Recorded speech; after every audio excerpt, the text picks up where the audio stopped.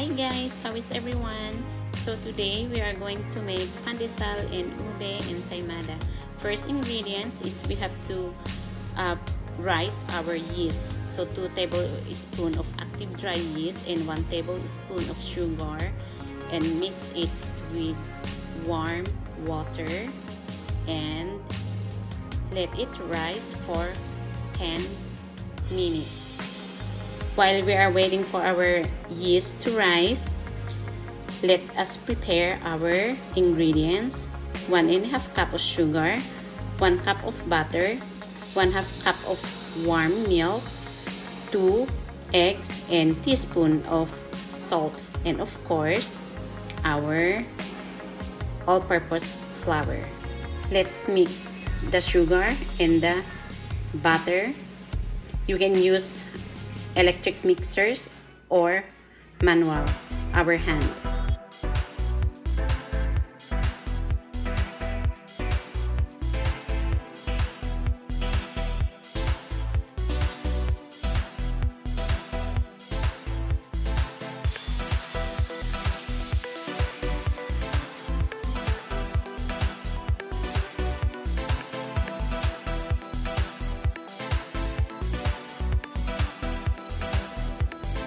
And fluffy. Just like that. It's time to, to add the eggs and mix it again.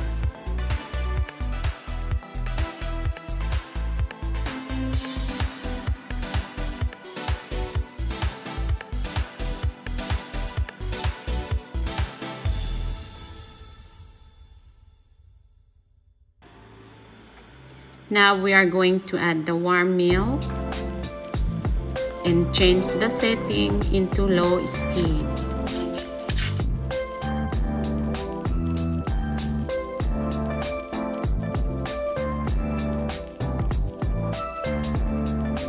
So ito yung yeast na pinarice natin kanina after 10 minutes, nag-rise na siya. So ito yung i-add natin dito sa mixture natin and keep the setting in it into low speed.